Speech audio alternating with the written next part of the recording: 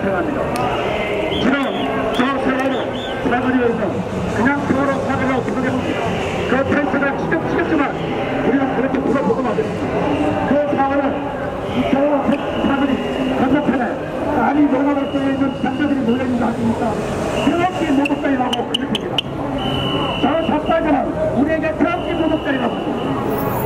않습니까?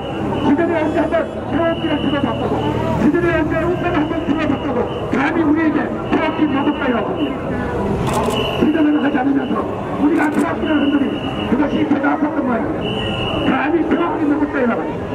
여러분도 우리는 그들에게 묻습니다.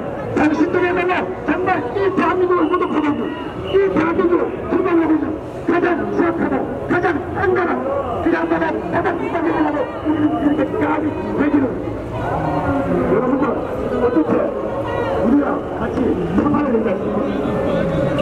단투방 수학에서 그렇게 할수 있지 않습니까? 저는 대한민국으로 그렇게 지킨 자들 하는 말이면 그 감정 선택인 것도 같은 면 그.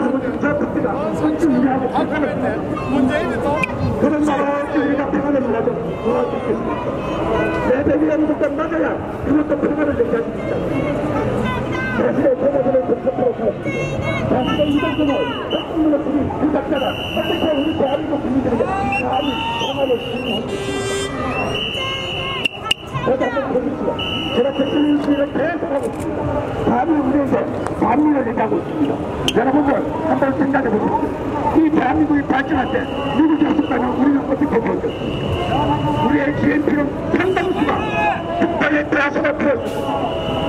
그렇다면 우리와 같이 그렇게 현대와 같이 국가 경제 발전을 할 수 있었겠습니까? 미국이 있었기 때문에 우리는 국가 경제 발전을 할 수 있었습니다.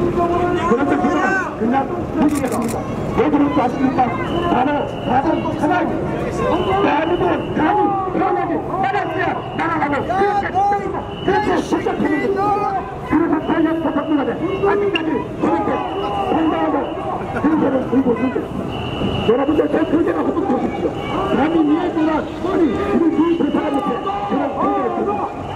그렇게 저렇게 찍어서 공군받으면 완벽하게 대한민국이 대한민국이 국민이 되지 않았습니다.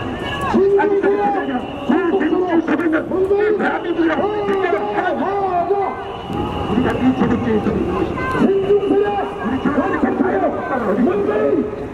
제가 많은 사람들이 자기 그마저로 사표를 들어주시고